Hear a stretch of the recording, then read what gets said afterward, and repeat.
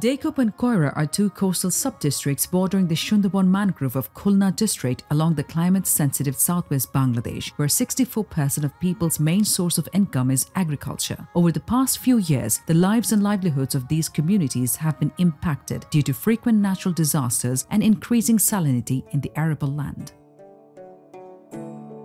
Concern Worldwide, funded by the Korean International Cooperation Agency KOICA, is implementing the Enhancing Resilience of Coastal Communities ERCC project by Shushilon and Jagrota Jubo JJS with support from relevant government departments. The project has significantly contributed to stabilizing the climate resilient community in the southwest region of Bangladesh.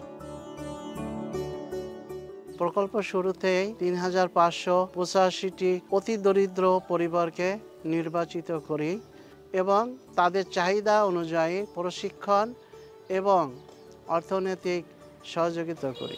যেন তারা জলবায়ু সহনশীল কৃষিকাজ, মৎস্য এবং প্রাণী সম্পদ প্রতিপালনের মাধ্যমে জলবায়ু পরিবর্তনের ক্ষতিকর প্রভাব মোকাবেলা করতে পারে। ব্যাংকের মাধ্যমে আমাদের তেরো হাজার টাকা দিছে। দেওয়ার পরে আমি ওইখান থেকে দুইটা ছাগল কিনেছি আর কিছু হাঁস মুরগি কিনেছি। এখন আমার ছয়টা ছাগল আছে। একটা ছাগল বিক্রি করেছি। বিক্রি করার পরে ছেলে মেশিন কিনেছি এখন হাতের কাজ করি। আমি এখন আগে চেয়ে অনেক স্বাবলম্বী পরিবারে অনেক সাহায্য সহযোগিতা করতে পারি।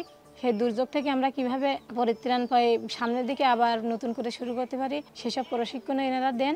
এখান থেকে প্রশিক্ষণ নিয়ে আমরা আগের থেকে অনেকটা ভালো আছি। আমি এআরসিসি প্রকল্প থেকে পনেরো হাজার টাকা পাইছি এবং সবজি চাষ এবং মাছ চাষের ট্রেনিংও পাইছি। আমি সমন্বিত পদ্ধতিতে মাছ চাষ এবং সবজি চাষ করে ঘেরের পাড়ে লাভবান হয়েছি।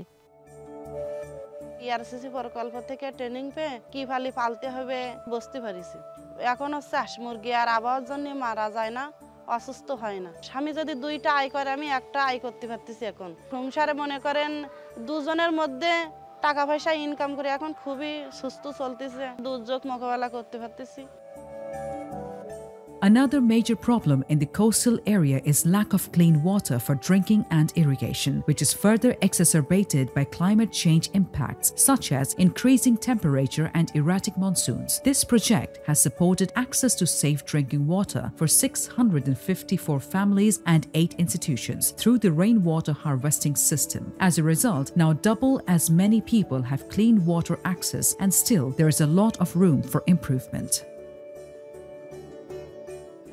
আমার জল আনতে যাতে সময় লাগতো এক ঘণ্টা।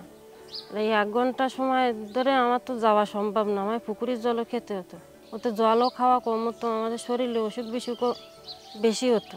ট্যাঙ্কি পাওয়ার পর থেকে আমি সারা বছরের বৃষ্টির পানি সংরক্ষণ করে রাখি। সেইখান থেকে আমার সারা বছরের জলের সমস্যা মিটে গেছে। এখন আমার সেই সময়টা বেঁচে গেছে। আমি সেই সময়ে দর্জির কাজ করি, খেতেও চাষ করতে পারি, এতে আমার কিছু উপার্জন হয়। ইআরসিসি প্রকল্প এই এলাকার দুর্যোগের ঝুঁকি হ্রাস করা এবং দুর্যোগ মোকাবেলা করার জন্যে ইতিমধ্যেই অনেক উদ্যোগ গ্রহণ করেছে। উপকূলীয় অঞ্চলে দুর্যোগ মোকাবেলা এবং দুর্যোগের ঝুঁকি হ্রাস করার জন্য স্থানীয় সরকারের বার্ষিক বাজেট সেটা টেন পার্সেন্ট উন্নীত হয়েছে। এই বাজেটটা আরও অনেক বেশি বাড়ানো দরকার।